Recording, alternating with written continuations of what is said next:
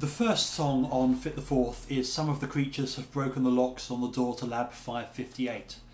Uh, it began life in 2008 when Pete, who I used to write songs with for Comrade Robot, uh, mentioned the notion of writing songs about government uh, testing facilities that end up going wrong, uh, like Doom or Torchwood 1. Um, I wrote the song pretty quickly uh, recorded a demo for it, which I will put up on the um, fan page of tomslatter.co.uk when I get the time, um, so you can have a listen to the original version.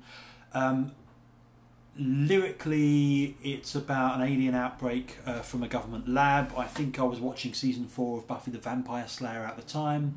Musically, it's got hints of Iron Maiden, uh, Meatloaf musicals, and other silly things.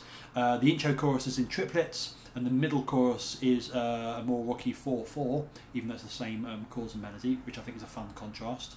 Uh, it has uh, a very silly solo that I came up with by programming the keyboard part, uh, even though I couldn't actually play that live on a keyboard, and then learning it on guitar and uh, recording both in. Um, it was quite difficult. Um, there's a, a, lot of takes went into those solos.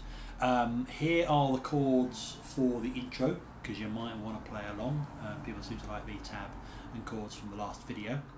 Um, before I play those London people, I'm doing an album launch gig 11th of July uh, in Bethnal Green. Do come along. More details on uh, tomslatter.co.uk. Uh, it's free should be a good evening. Uh, support from JH, who's fantastic singer-songwriter. So here's the uh, intro from Some of the Creatures Have Broken the Locks on the Door to Lab 558.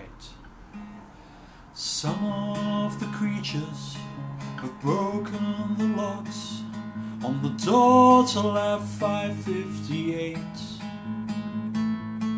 Somehow their venom ate through the wires. Alarms didn't sound till it was too late from the third to fifteenth floor.